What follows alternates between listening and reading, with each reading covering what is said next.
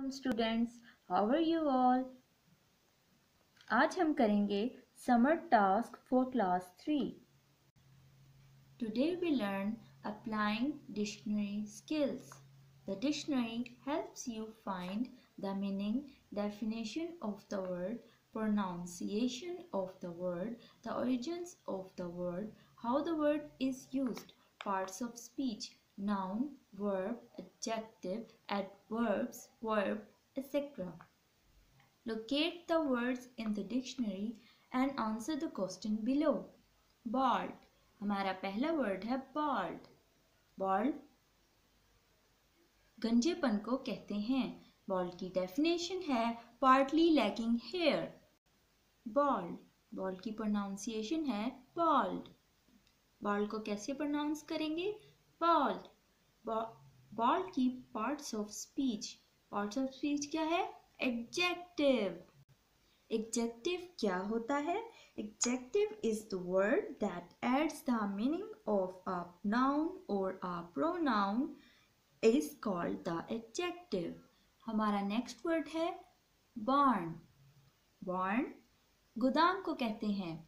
Born की definition है animal feed and housing farm animal barn barn की pronunciation है barn barn की प्रोनाउंस कैसे करेंगे barn को barn barn की पार्ट्स ऑफ़ स्पीच है noun noun क्या है noun is a word used as the name of a person place idea or things अब हम नेक्स्ट पेज नंबर फोर करेंगे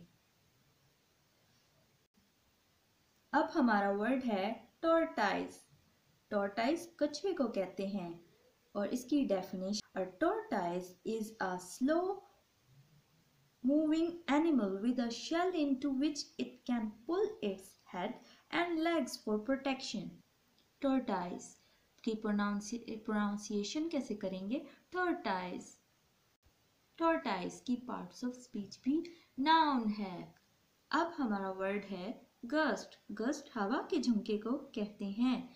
गस्ट की डेफिनेशन है सडन रश ऑफ़ विंड या स्ट्रॉन्ग गस्ट की प्रोनाउंसिएशन है गस्ट गस्ट की पार्ट्स ऑफ़ स्पीच भी नाउन है। हमारा नेक्स्ट वर्ड है पुडल। पुडल छीन का मतलब है छींटे उड़ाना। पुडल की डेफिनेशन है especially of rain water on the ground puddle की प्रोनाउंसिएशन है पुडल पुडल पुडल की पार्ट्स ऑफ़ स्पीच भी नाउन है. हमारा लास्ट वर्ड है थ्रेड थ्रेड पाँव रखने को कहते हैं. थ्रेड की डेफिनेशन है put down press the foot or running tread की प्रोनाउंसिएशन है थ्रेड थ्रेड की पार्ट्स ऑफ़ स्पीच वर्ब और नाउन है. Verb क्या है? A verb is a word which denotes an action. आज के लिए इतना ही। मिलते हैं नेक्स्ट वीडियो में। तब तक के लिए अल्लाह हाफिज।